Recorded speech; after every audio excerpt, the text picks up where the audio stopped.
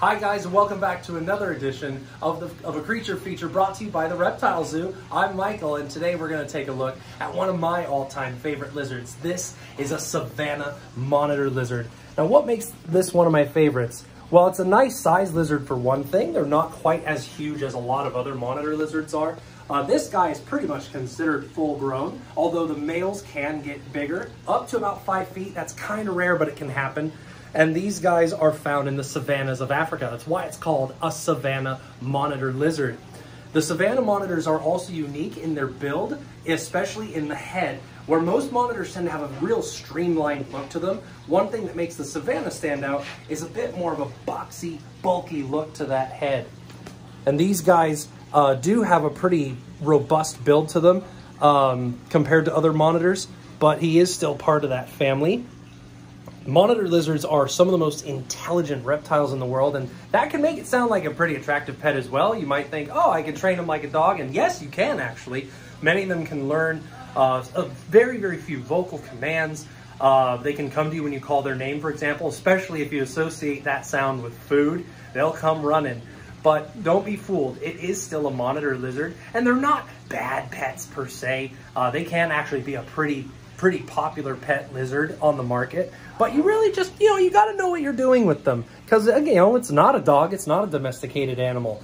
It's still a lizard. It's a big lizard on top of that. And you just got to spend a lot of time with them. So it's good if you, you know, you don't travel a lot, if you're home a lot. That is always really, really good. You spend a lot of time with these guys from the time they're very, very young. And honestly, you may go through a little bit of a terrible twos, but honestly, by the time they grow up, they're really wonderful lizards. I would dare say even affectionate, which is something you don't typically think about in reptiles, but they could be very comfortable spending lots of time around people.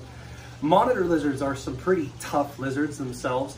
Uh, they have amazingly good senses, not just their sense of smell, but also their eyesight. It's actually the reason they're called monitor lizards. They're very good at looking around and observing their surroundings with their eyes. Uh, this is a good way to not only avoid danger, but spot some potential meals. They'll scavenge around. Uh, primarily their diet is going to be meat, although this guy actually has a bit of a sweet tooth for strawberries, I've learned.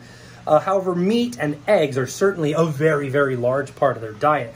One of the most interesting things they like to eat is also one of the most dangerous. Of course, monitors will certainly eat snakes, but one of the snakes that's at the top of this guy's list is the cobra. Now, cobras are highly, highly venomous animals, and a bite from one of them can be pretty dangerous for us, but not for this guy. Not only is their skin surprisingly thick, uh, but also, even if somehow that short fang was to penetrate through and inject the venom into his bloodstream, not really a big deal because he's built up an immunity to that venom, being a natural predator of that snake. Pretty amazing lizard, if you ask me.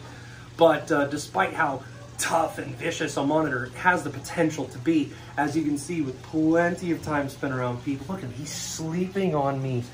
Well, maybe that eye's open, but this eye is just shut tight and he is mwah, sound asleep. Well, except now maybe I woke him up with that little kiss. but they can be amazing lizards.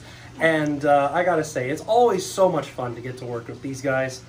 All right, well, maybe we should let this guy continue having his nap, and we'll go ahead and wrap up this episode. But thanks so much for joining us, guys. It's always a pleasure to bring you some amazing animal details and some amazing animals, and we'll see you in the next video on our next creature feature. Take care.